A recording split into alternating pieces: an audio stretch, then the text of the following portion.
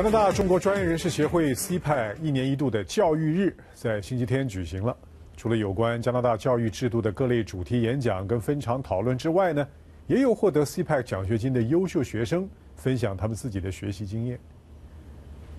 今年 CPAC 教育日在施加堡市政中心举行，大会特别邀请华裔著名演员刘思慕通过微信现场连线，分享第二代移民成长学习。还有跟父母沟通的问题，并且呢，所有的问答呢都是现场回答观众的提问。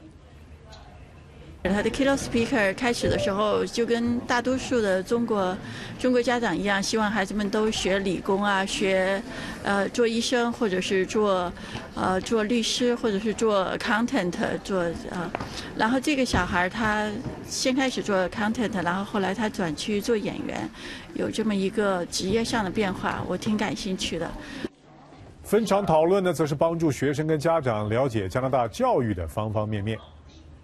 一个是关于如何选择这个是英文学校还是法文学校，还是 STEM 的 program，还是 GIFT program，还是 TOPS program，各种各样的选择。另一个呢是有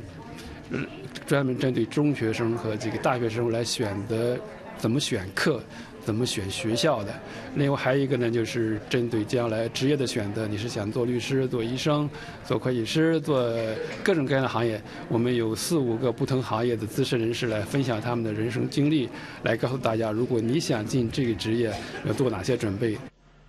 八名品学兼优的学生获颁今年度 CPAC 奖学金，总价值是一万四千加币。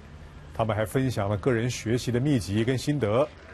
CPEC 教育日活动呢是大多伦多地区华裔社区规模最大的同类活动之一，今年就吸引了四百多位学生还有家长参加。